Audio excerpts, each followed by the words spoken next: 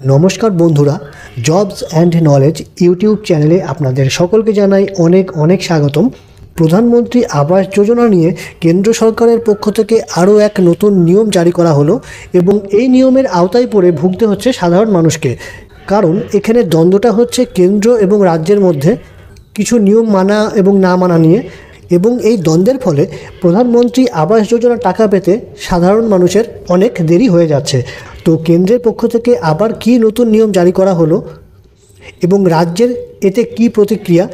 কেন্দ্র এবং রাজ্যের মতামত নিয়ে কি তথ্য প্রকাশিত হয়েছে সে ব্যাপারেই আজকের ভিডিওতে আলোচনা করব। সুতরাং ভিডিওটা প্রথম থেকে শেষ পর্যন্ত সম্পূর্ণটা দেখতে থাকুন। প্রকাশিত তথ্যে বলা হয়েছে, প্রধানমন্ত্রী আবাস যোজনা। আবাস যোজনার ঘর পেতে আবারও নতুন নিয়ম জারি করল কেন্দ্র। কি করতে হবে? জেনে নিন।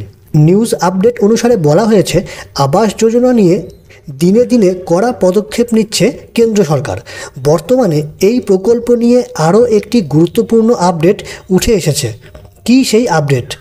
সাধারণ মানুষকে এই প্রকল্পে সুবিধা পেতে আর কি কি নতুন নিয়ম অনুসরণ করতে হবে বিস্তারিত নিচে আলোচনা করা হলো। আবাস যোজনা কেন্দ্র ও রাজ্য সরকারের মিলিত একটি প্রকল্প। যে প্রকল্পের ষাট শতাংশ টাকা দেয় কেন্দ্র এবং চল্লিশ শতাংশ টাকা দেয় রাজ্য। কিন্তু বর্তমানে কেন্দ্র বারংবার আবাস যোজনার আবেদনকারীদের ভেরিফাই করে নেওয়ার কথা প্রকাশ করেছে এবং সেই মতো বারংবার বিভিন্ন আবেদনকারীকে নতুন করে যুক্ত হতে যেমন দেখা যাচ্ছে তেমনই প্রচুর অযোগ্যদের আবাস যোজনার লিস্ট থেকে বাতিল হতেও দেখা গিয়েছে। নতুন খবর অনুযায়ী, কেন্দ্র সরকার আবারও এই প্রকল্প নিয়ে রাজ্য সরকারকে একটি চিঠি পাঠিয়েছে। এই চিঠিতে কেন্দ্র সরকার নতুন করে কিছু শর্ত আরোপ করেছে, যেগুলো না মানলে কোনোভাবেই এই প্রকল্পের টাকা দেবে না কেন্দ্র সরকার। এই চিঠি পেয়ে রীতিমতো ক্ষুব্ধ রাজ্য। এই চিঠির উত্তরে নবান্ন কেন্দ্রকে চিঠি পাঠানোর নির্দেশ দিয়েছে। কেন্দ্র যে নতুন চিঠি পাঠিয়েছে, তাতে তারা কিছু শর্তের উল্লেখ করেছে। সেই শর্তগুলো হলো, যারা আবাস যোজনায় অনিয়ম করেছে এবং আবাস যোজনার আওতায় না পড়েও আবেদন করেছে, তাদের বিরুদ্ধে এফআইআর করতে হবে এবং তাদের বিরুদ্ধে কঠোর ব্যবস্থা নিতে হবে এবং দশই মার্চের মধ্যে কেন্দ্রকে রিপোর্ট পাঠানোর কথাও বলা হয়েছে এই নোটিশে। রাজ্য তা না করলে কেন্দ্র কোনোভাবেই এই প্রকল্পের টাকা দেবে না।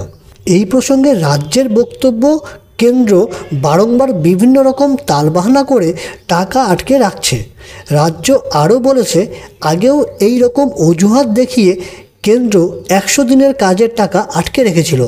এবার এই আবাস যোজনার এই নতুন শর্ত কতটা কার্যকরী হয় সেটাই দেখার বিষয়।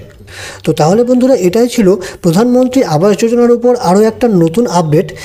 অর্থাৎ এক্ষেত্রে কিন্তু বাছাইকরণের কাজ নিয়ে বেশি জোর দেওয়া হচ্ছে।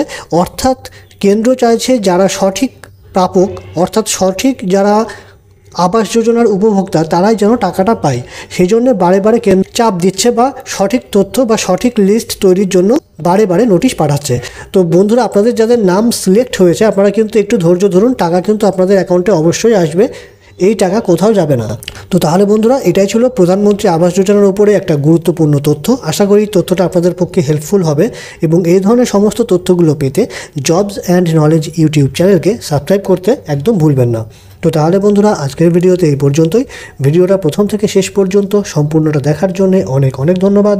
ভালো থাকুন, সুস্থ থাকুন জবস অ্যান্ড নলেজ ইউটিউব চ্যানেলের সঙ্গে থাকুন।